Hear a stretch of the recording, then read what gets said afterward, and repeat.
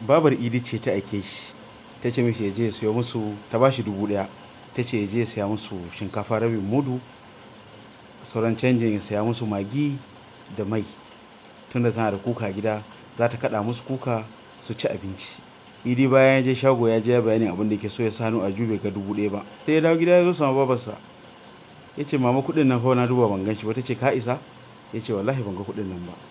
Ta zargo da rabejiya ta zuba wa idi ta sha shi da bulala. Jikin shi ya laushi tubus ya kuka. Ya koma gefe ya zauna. Yamma ta yi baban idi ya dawo dawo fuskan shi a murtuke saboda garin babu daɗi. Ya ce kawo min abinci. Yau fa ga wannan bawan allah ta nuna idi. Ta ce yayar mana da yar dubu ɗaya da ka bari mu yi amfani da ita yanzu. Wallahi babu komai ba a yi komai ba. Ta ce ya ce me kike nufi? Ce ya da kuɗin. Baban idi ya shiga ɗaki ya ciro socket na rediyo. Yau idi gwale gwale ya sha idi da bulala. Yana gama shan idi da bulala idi ya kuka ya sake share hawayenci sai koma cikin ɗaki. To ashe sanda aka aike shi ya je zai sa dogon wando a nan ya da dubu ɗaya. Yana kowa ciki sai ya je ta da dubu ɗayan. To yanzu tambayin da za mu yi a nan shi ne idan kai ne idi ko in ke ce idi dubu ɗayan nan da aka tsince kika tsince ta yanzu za ki maida ta?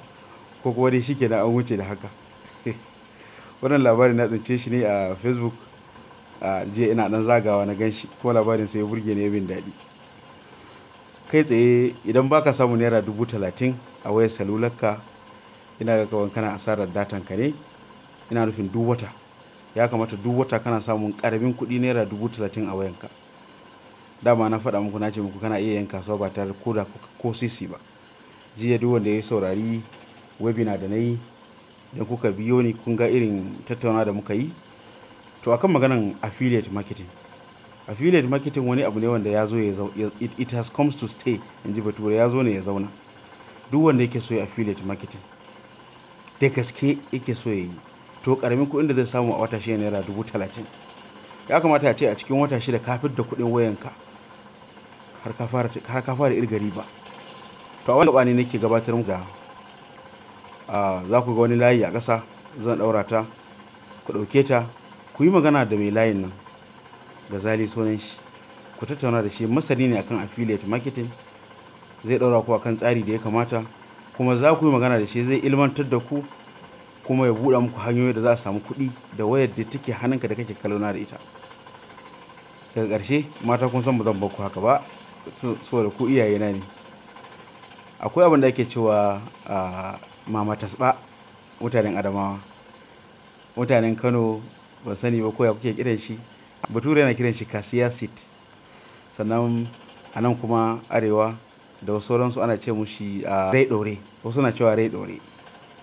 To wannan 'ya'yan shi in aka ɗauka aka ciro su in suka nuna kenan aka ciro su aka zo sai a soya haka akan wuta. In aka soya a cikin tukunya ko abin da ake tuya da shi haka za zuba ba ƙasa ba komai a soya shi. Idan ya soyu sai a daka shi sai ki replace nashi da ganyen shayi da kike saya kullum kina dafa muku shayi. Abu ne sai za ki replace nashi da ganyen shayi shine ana amfani da wannan abun.